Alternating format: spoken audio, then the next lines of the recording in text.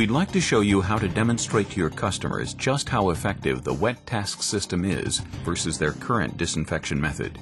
These step-by-step instructions will guide you through the use of the titration kit to prove your point. For this demonstration you will need a titration kit that consists of a titration tube. This tube has measurements in milliliters and is topped with a white cap with a hole.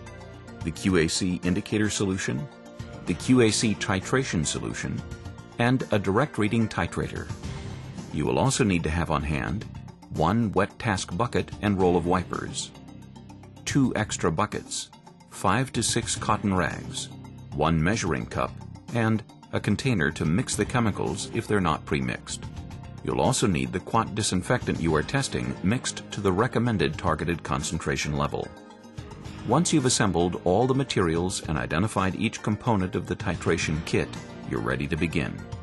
First, you need to understand what the targeted concentration should be for the chemical you are testing. This will be listed on the back of the chemical bottle. For example, Virex 256 has a targeted concentration of 660 ppm, parts per million. Please note that if you are not doing the test in a hospital where the chemical is already pre-mixed, then you should come prepared with a pre-mixed solution. Now, let's test the solution by following these steps with your titration kit. First, take the white cap off the titration tube and fill it with 10 milliliters of sample solution and then add 5 drops of the QAC indicator solution into the test tube.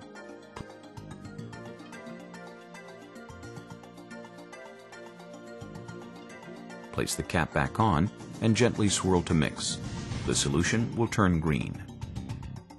Next, depress the plunger of the direct reading titrator and insert the adapter tip into the special plastic plug in the QAC titration solution bottle.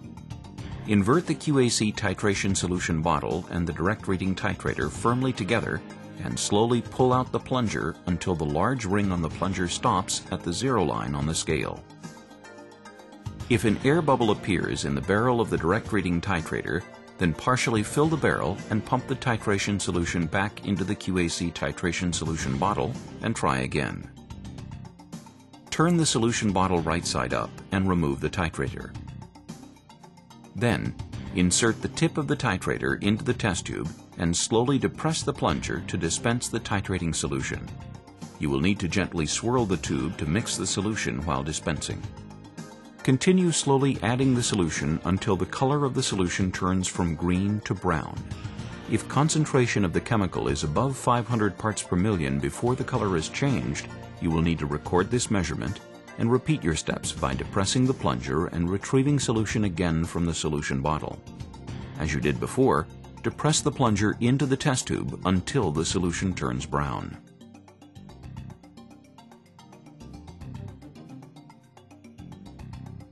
Now, read the test results directly from the scale where the large ring on the titrator meets the direct reading titrator barrel. Finally, record the concentration of the solution you will need to add this reading to the previous reading, which should be 500 parts per million.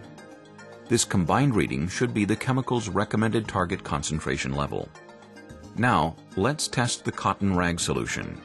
Start by placing 5 or 6 cotton rags into the bucket of solution and let it sit for 3 to 5 minutes. You can use this time to probe the customer and find out more about their process. Refer to the Questions to Ask section in the WetTask Sales Guide for suggestions. After 3 to 5 minutes, you are ready to test the solution. First, pour the solution from this bucket into a measuring cup and then into the test tube and test the solution again following the previous steps.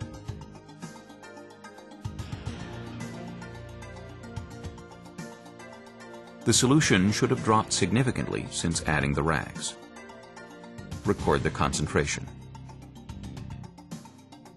Test the solution in the rag by squeezing out into a separate bucket and then pour this solution into the titrator and follow testing instructions again.